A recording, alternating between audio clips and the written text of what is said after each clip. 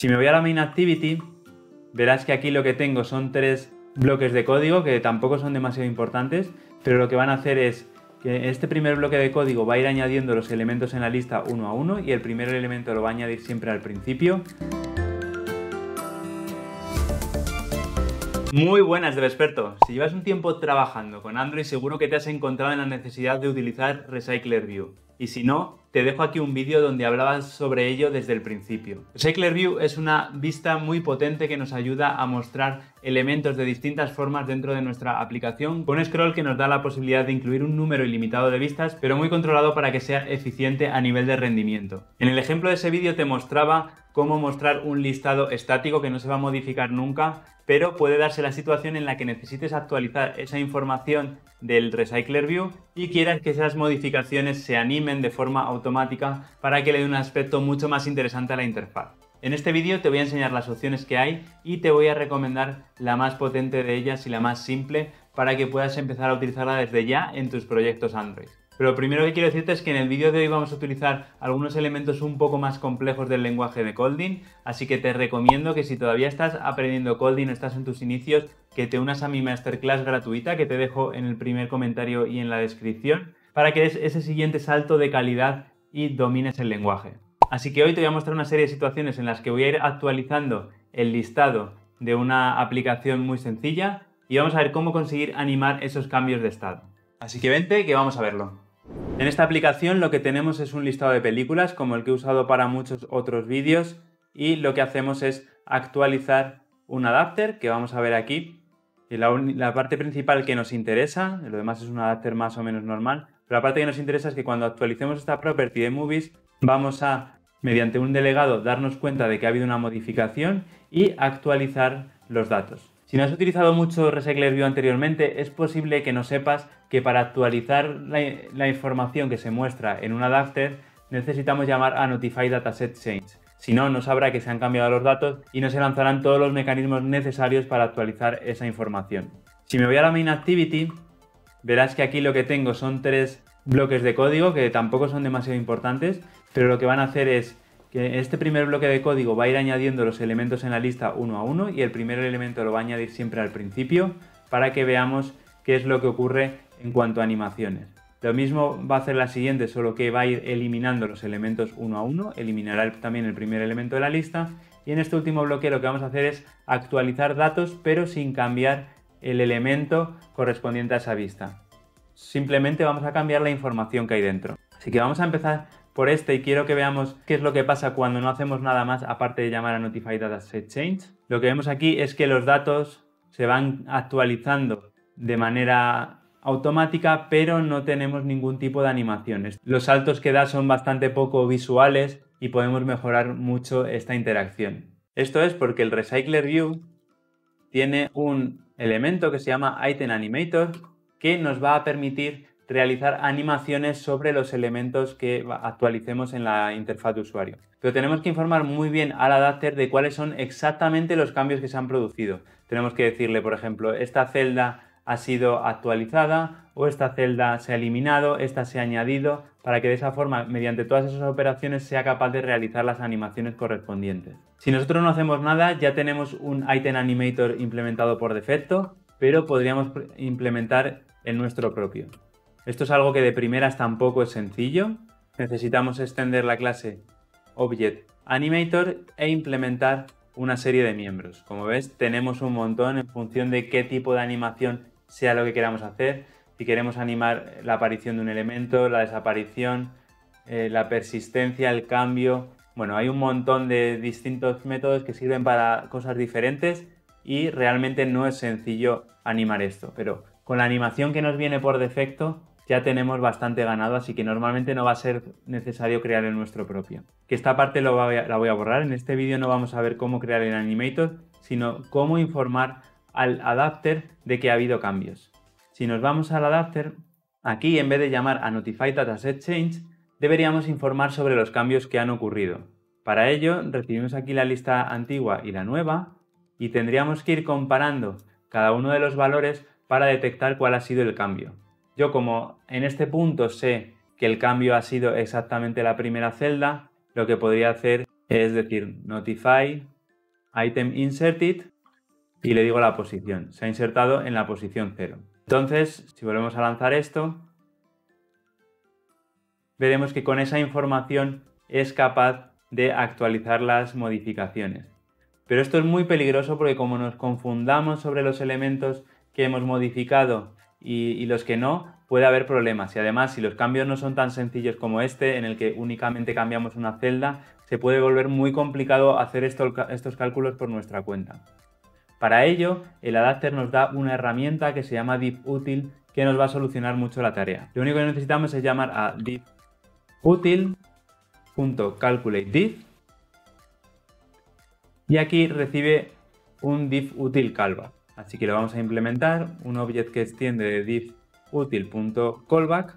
Esto es una clase abstracta, así que necesitamos llamar al constructor y ahora nos faltaría implementar los distintos métodos. Los implementamos todos y vemos lo que nos pide. Esto lo que va a hacer es automáticamente calcular las diferencias entre dos listas basadas en unas operaciones que le vamos a dar nosotros. Lo primero que necesita es el tamaño de la lista antigua, así que le vamos a decir que es old.size. Luego necesita el de la nueva, por tanto, new.size. Y aquí hay dos métodos que parecen casi lo mismo, pero no son lo mismo.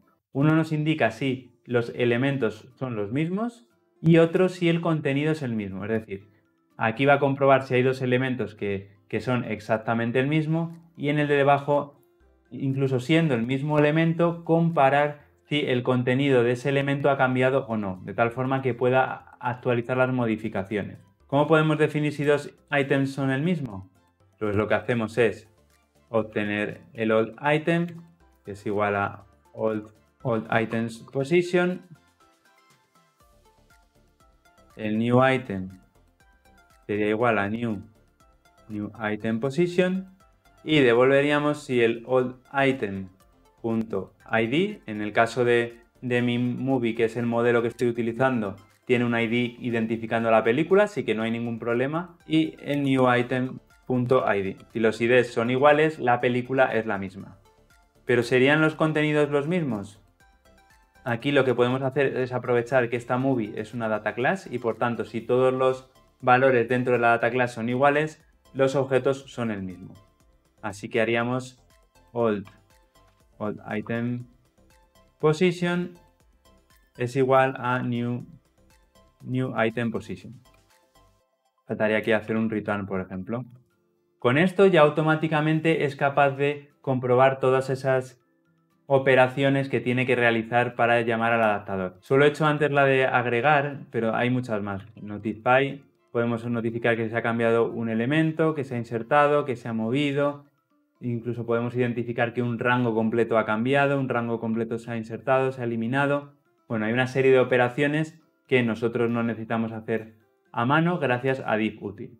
Lo único que necesitaríamos es que una vez que esta eh, diferencia haya sido calculada, que mande los updates al adapter correspondiente. Como estamos dentro del adapter sería addis. Si ahora ejecutamos esto, veremos que automáticamente nos lo actualiza sin necesidad de calcular nosotros la operación exacta de lo que está ocurriendo. Si hubieran muchos más cambios y no solo el cambio en la primera celda, los calcularía todos y los ejecutaría automáticamente por nosotros. Si ahora nos vamos a la main activity, vamos a probar el resto de animaciones que ocurren. Vamos a poner, por ejemplo, esta otra de aquí, que lo que va a hacer es eliminar el primer elemento en cada iteración. Y aquí al principio aparecen todos y luego ves cómo se va eliminando uno y el resto pasan a ocupar su lugar animándose. Y por último, tendríamos la de el cambio. Cuando el elemento no cambia, pero sí cambian los datos dentro de él, veremos cómo se animan también esos cambios. Aquí lo que estoy haciendo es darle la vuelta al nombre y si te fijas hay un pequeño parpadeo en el que se actualiza el valor. Y con esto ya lo tendríamos, pero yo creo que podemos ir un poco para nota para sacar el 10 y vamos a extraer un delegado que nos permita hacer el diff útil de forma mucho más sencilla. En vez de tener que añadir todo ese código cada vez en nuestros adapters o incluso sacarlo a una clase externa, lo que vamos a hacer es extraerlo a un delegado que va a hacer ciertas operaciones por defecto, pero que nos va a permitir modificarlas para que nosotros las cambiemos cuando sea necesario. Así que vamos a ver cómo se haría eso. Esto ya requiere un conocimiento un poco más avanzado de Colding, así que nuevamente te animo a que si te pierdes un poco te apuntes a la masterclass para enseñarte cómo puedes ir avanzando y mejorando con el lenguaje. Así que nos vamos a ir nuevamente al Movies Adapter y en realidad lo que queremos es extraer todo este Calculate Diff a otro sitio. Así que nos vamos a ir a Extensions y vamos a añadir aquí un delegado. Para ello nos vamos a crear una función que se llame Basic Diff Util, que nos va a dar un diff útil básico que nos permitirá hacer las actualizaciones sobre dos listas de una forma bastante genérica. Queremos que esta función sea una función de extensión de los adapters, porque son los que lo van a utilizar finalmente. Así que le vamos a decir aquí que esto es una función de extensión de, de recyclerView.adapter. El adapter necesita un viewholder que lo vamos a hacer genérico para esta función. Vamos a hacer aquí un viewholder que necesita extender de recyclerView.viewholder. Aquí nos falta el punto para separar y el bloque. Esto lo que va a hacer inicialmente, si nos vamos al adapter, es lo que teníamos aquí. Voy a copiar esto y me lo llevo al otro lado. Pero en vez de directamente aquí hacer el diffutil, lo que queremos es convertir ese observable que teníamos antes en un delegado que sea capaz también de gestionar este diffutil. Así que decimos que esto va a devolver un delegates.observable, que el valor inicial de momento va a ser una lista vacía de tipo t. Esta lista vacía puede ser de cualquier cosa en función del, del observable en el que nos encontremos. Así que este tipo t va a ser distinto en función del adapter en el que nos encontremos, así que necesitamos aquí también un tipo t y aquí abriríamos el observable.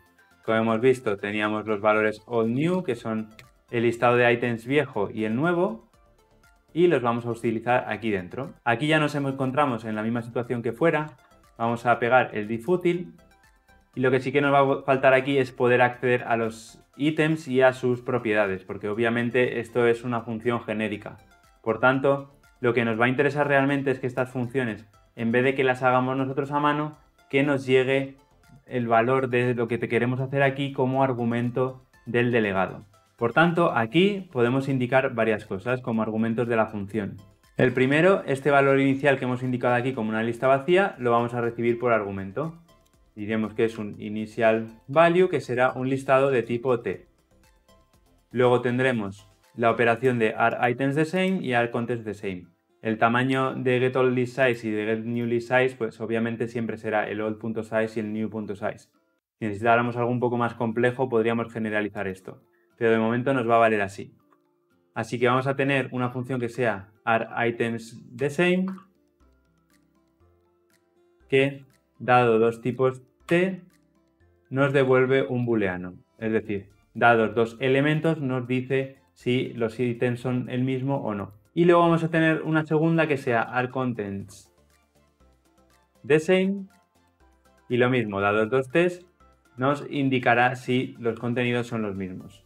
El initial value lo sustituimos aquí y además a todo esto le podemos dar valores por defecto, porque podría ser habitual que el initial value sea una empty list de tipo t. Aquí no nos hace falta definir el genérico. El ar items the same lo usaremos aquí. Vamos a ponerlo con un igual directamente. Igual ar items the same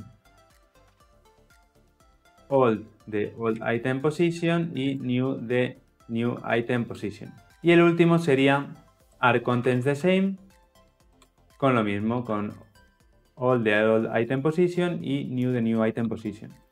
Si no queremos dar siempre valores a estas funciones, también le podemos dar un valor por defecto, que dado un old y un new, devolverá true si old es igual a new. Y para la otra le podemos dar el mismo valor por defecto. Aquí lo que nos faltaría sería eliminar esta llave que nos habíamos dejado por el camino.